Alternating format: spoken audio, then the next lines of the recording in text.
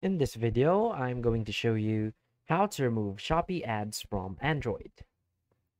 So please watch the video until the end and follow this tutorial step by step to avoid making mistakes. So let's get started.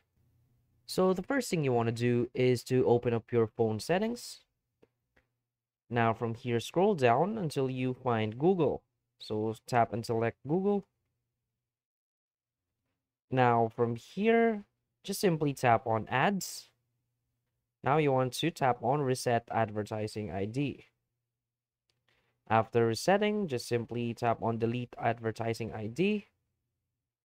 Now you want to go back, tap on manage your Google account. Now from here, you want to tap on data and privacy.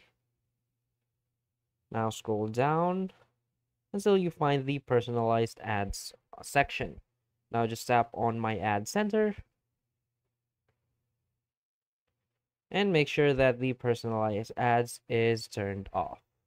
So let's turn this off and all personalized ads by Shopee will now be removed.